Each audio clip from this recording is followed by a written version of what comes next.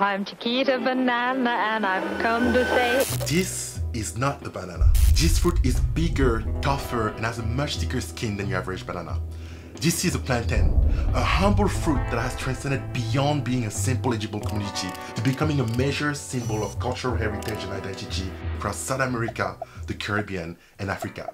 It has become such a cultural pride for locals that debating its origin is the subject of very intense debate. Some claim it was born in South America, Africa, Africa, Africa. How did the plantains come from that continent to the Hispaniola Islands? The researcher believe it emerged somewhere in the shores of Asia. As for myself, I always thought that it came from Cameroon. So I didn't expect that this origin story would challenge my understanding of my own cultural heritage. Through months of extensive research and digging into archives, I've uncovered the methods and techniques that researchers have used to trace the plantain's root back to its ancient origins, through thousands of years and numerous civilizations. So stick around until the end of the video to find out how it ended up in Africa, South America, Europe, and the Caribbean. And what are these, plums? What is that? Plantains. Plantains? Each banana That plant was a plantain. bears only one single stem of banana. Let's take a look and see where bananas first came from.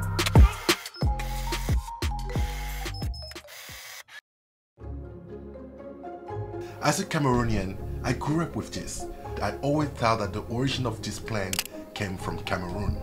But most countries in the southern hemisphere that share the same climate where the plant grows also tend to think that it originated from the countries. The first domestication of bananas was traced by archaeologists as far as 8000 BCE in the Kuk Valley of New Guinea.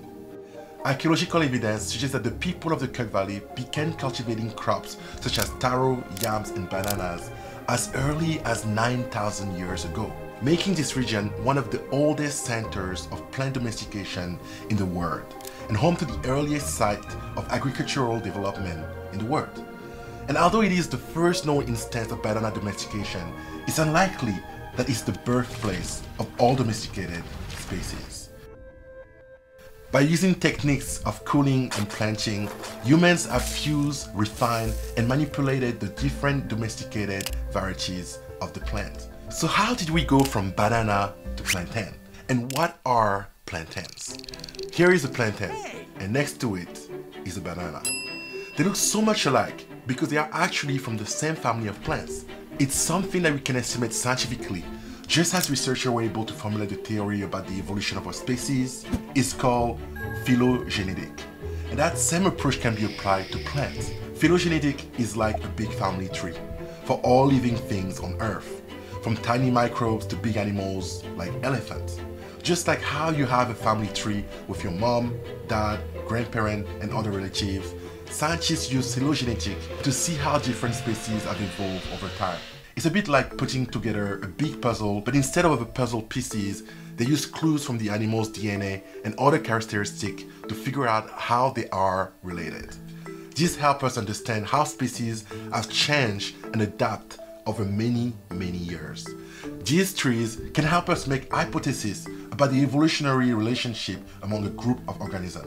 Through this analysis, it was discovered that plantains are closely related to the Musa plant, a species in the banana family coined by this guy. This means that plantains are actually a type of banana and they evolved from the same ancestral species as other bananas. What the hell is a plantain? It's part of the banana family. It's a delicacy. You're not getting any plantain. These type of plants are called Musaceae and they share the same biological classification ranking, Musa. The Musae family represent the tree where both bananas and plantains come from. The two main species that gave rise to modern bananas are Musa acuminata and Musa balbisiana. This is Luigi Aloysius Colla, an Italian botanist who was the first person in 1820 to describe these two types of variety of plants that are the basis for almost all cultivated bananas and plantains today. They are the true ancestor of both bananas and plantain as we know it today. It's important to note that not all plants in this family are domesticated. So what exactly is a domesticated plant? A domesticated plant is a plant that has been changed by humans to have specific traits like big fruit or colorful flowers. These changes have made the plant so different from its wild ancestor that it can't reproduce on its own anymore. That means it needs help from people like being planted or harvested to continue to grow and produce fruits. So a domesticated plant is one that has been altered so much that it can't survive without human intervention. This is technically selective breeding, and most of the species of plantain we know around the world have evolved through selective breeding. And when a plant has been produced in cultivation by selective breeding, we call it a cultivar. And for the case of plantains, a number of cultivar are related to each type of bunch.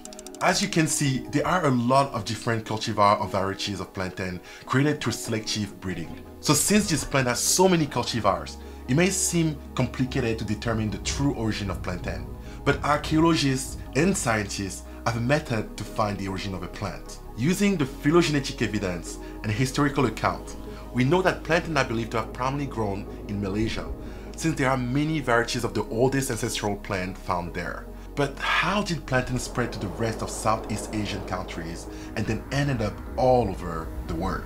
New Guinea is one of the places the plantain is believed to have spread to first, and it's not clear how it got there, but scientists believe it would have more likely been through migration or people sharing resources. The reason archaeologists are focused on the Kuk Valley of New Guinea is because the people of the Kuk Valley were among the first to domesticate the banana plant and they developed new varieties of the fruit that were better suited for their local growing condition. The banana, and by extension the plantain, was a significant crop for the people of the Kuk Valley as it provided a reliable source of food that could be stored and transported easily. The earliest domestication of plantains and bananas was from naturally occurring development of the fruit without fertilization, which brought us Musa banksii in New Guinea. Humans gathering food in this area began domesticating the plant a long time ago, in the late Pleistocene period. It was the last ice age. It is believed that humans were able to live and survive the Pleistocene thanks to language, art, and storytelling through proximity. Proximity meaning people living close to each other and therefore able to share ideas while migrating. The human of the time tasted bananas and plantains and told each other, hey man, you gotta try this. This is how cultivated bananas and plantain are likely to have been brought closer to the island of Southeast Asia from New Guinea. It is believed that the plantain was first introduced to India by the Dravidian who migrated to the Indian subcontinent from Southeast Asia around 5,000 years ago. Arab traders also brought the plant with them around 327 BC, since the Arabian Peninsula was an important center of trade and commerce in the ancient world. The year 327 BC is associated with the campaign of Alexander the Great, who invaded India and fought a series of battles against the Indian king Porus. Alexander's campaign marked the first known contact between the Greeks and the Indian. This is around this time that the European troops first saw a banana. During that time, he also saw plantains. At the time, people believed that it was a magical plant from the east that could cure headaches. After trying them for the first time, he introduced his new discovery to Europe. But how did it arrive in Africa and the Caribbean? There are three competing theories on how the plant may have been introduced to Africa. One, it is possible that they were introduced by the Portuguese during the 16th century. The Portuguese were a major colonial power in the 16th century and had a significant presence in Africa, particularly around the western coast. It's possible that they may have introduced the plantain to Africa during the colonial activities, either as a food crop for their own consumption or as a mean of trading with the local population. The Portuguese were known to have introduced a variety of new crops to their colonies, including cassava, maize, and beans. It is possible that plantain were also among these crops. 2. It is possible that plantain were introduced to Africa by Arab or Persian traders who were involved in extensive trade network that spanned the Indian Ocean and the Mediterranean Sea. There are historical records, like an Arabic medical text called the Canon of Medicine by the Persian physician Ibn Sina, that suggests that the plantain was known in Egypt as early as the 10th century AD, which support the theory of Arab trader introducing the plant to Africa. Another historical record that suggests the presence of plantain in Africa is the account of the Moroccan explorer Ibn Battuta. In his travelogue, Ibn Battuta describes seeing plantain plantation in the region and notes that the fruit was an important food crop for the local population. 3. The Norman Simmonds theory. That's this guy. Simmonds was a highly respected figure in the world of horticulture. His theory is that he was brought to the continent by Austronesian speaking people who settled in Madagascar early in the first millennium AD.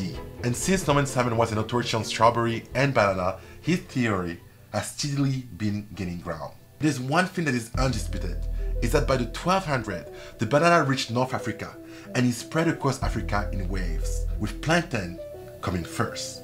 And to spread across Africa, the plant had to cross a very dense rainforest, which was previously thought impossible.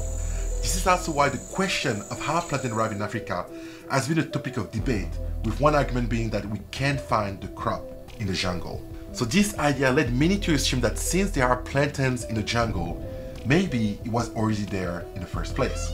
But there is actually a logical explanation about how the plantain ended up in the jungle in the first place. It arrived in the forest of Africa through the Bantu migration. The Bantu were a group of people who originated from the Cameroon and Nigeria region and migrated across much of central, eastern, and southern Africa. It was previously thought that it would have been very, very difficult for these agricultural people to cross the dense Central African rainforest, as it would have been hard to transport and maintain their crop and cattle. Recent research have shown that they actually migrated directly to the rainforest. The Bantu people brought with them their agriculture practices and crops, including plantains, and they cleared the forest to make space for their farm, which allowed the plantain to thrive in new environment, leading to its widespread distribution throughout the African continent. The plantain was well suited to the tropical climate and rich soil of the African forest, and it quickly became a staple food for the Bantu people and other local communities. Today, plantain are an important part of the African diet, providing a source of carbohydrates, vitamins, and minerals. So diffusion brought plantain to the rainforest where they were propagated over many, many centuries. And this was the plantain wave. Forget the Silk Road. This journey was about crossing land, rainforest, and ocean. So now we know how it got to Africa. But what about the Caribbean? Three plantains ought to do it. All right, all right, just hold it right there. What? This fruit isn't for you. Plantain are thought to have been brought to the Caribbean in 1516 AD by a Portuguese Franciscan monk. The popular belief is that he found the plantains in the Canary Islands and brought them to Santo Domingo, but there is limited historical evidence to support it. The first written record of plantain in the Caribbean come from a Spanish with a really cool name, in the Chronicle of González Fernández de Oviedo y Valdez, who wrote in the early 16th century about the presence of the fruit in the region. However, Oviedo does not mention the role of the Portuguese monk in the introduction of plantains to the Caribbean. There are also records that suggest that plantains were known in the Caribbean prior the arrival of the Portuguese monk. Indigenous Caribbean population have been growing plantain and other crops for thousands of years prior to the arrival of European explorer. Additionally, there are records that suggest that African slaves who were brought to the Caribbean in the 16th century were already familiar with the cultivation and use of plantains. It is possible that the fruit was introduced to the region by indigenous people, European explorers, and settlers, or through trade with other parts of the world. It was until the early 1800s that the fruit made its way to the United States, thanks in part to the effort of Portuguese and Spanish slave traders by loading plantains and bananas with slaves on the long voyage to Brazil. The slave quickly adapted the plantain to their diet after he arrived in South America, where he quickly replaced staples like beans, yams, and corn, which by the way also has a fascinating origin story. While there is still much we don't know about the exact details of plantain's journey through history, one thing is clear. This fruit has played a vital role in the development of human societies and the evolution of our diets. If you enjoy learning about the history of plantains, make sure to smash the like button to help YouTube recommend this video to more people like you. That really helps. Now, I'd like to invite you to join the conversation about plantains and their role in our life. Do you have a plantain story? I'd love to hear from you in the comments. And if you know someone who is still debating the true origin of plantains, please be sure to share this video with them. Thank you so much for watching and I'll see you guys in the next one.